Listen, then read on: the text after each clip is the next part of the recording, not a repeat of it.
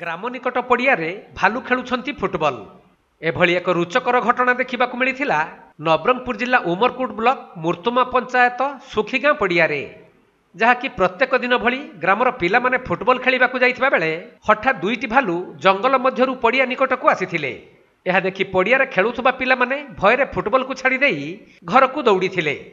କିନ୍ତୁ ପିଲାମାନେ ପଳାଇ ଯିବା ପରେ ଉଭୟ ଭାଲୁ ଫୁଟବଲଟିକୁ ନେଇ ଖେଳିବା ଆରମ୍ଭ କରିଦେଇଥିଲେ।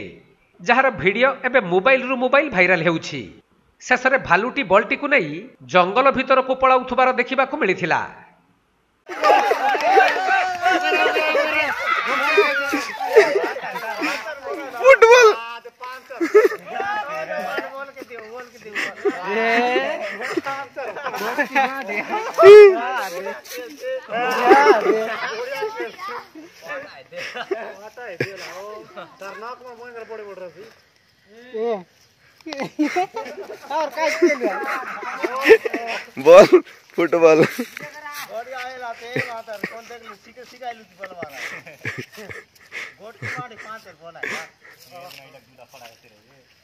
फुटता मन काय बान वाणी आहे रे पिला डर के बान तो समझ अजवा मत जान आए वो? काय तो डर दिसला